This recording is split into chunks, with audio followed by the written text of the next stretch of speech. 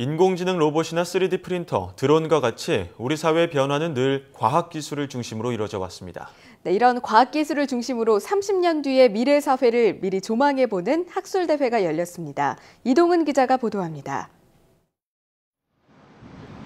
우리 생활의 필수품인 스마트폰부터 집 앞까지 물건을 배달해주는 드론, 사람과 대화를 나누는 로봇까지 불과 30년 전만 해도 영화 속에서나 가능했던 일들이 이제는 모두 현실이 됐습니다. 그렇다면 앞으로 30년 뒤 우리나라는 어떤 모습일까? 전문가들은 미래 사회의 변화는 인공지능을 중심으로 한 과학기술이 주도할 것으로 전망합니다.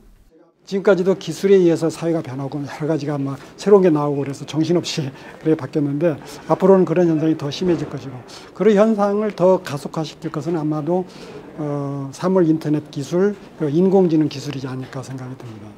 에너지 부족 문제는 태양광 등 신재생 에너지가 해결하고 30년 뒤에는 암이나 난치병도 극복할 수 있을 것으로 전망됐습니다.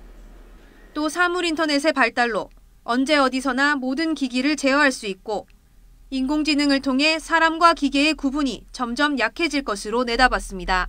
10년 후의 미래가 이렇게 이렇게 전개될 것이고 이렇게 준비해야 되겠다라고 이미 준비하고 있기 때문에 이러한 좋은 의견들을 받아서 좀더 좋은 미래 전략으로 만들어갈 생각입니다.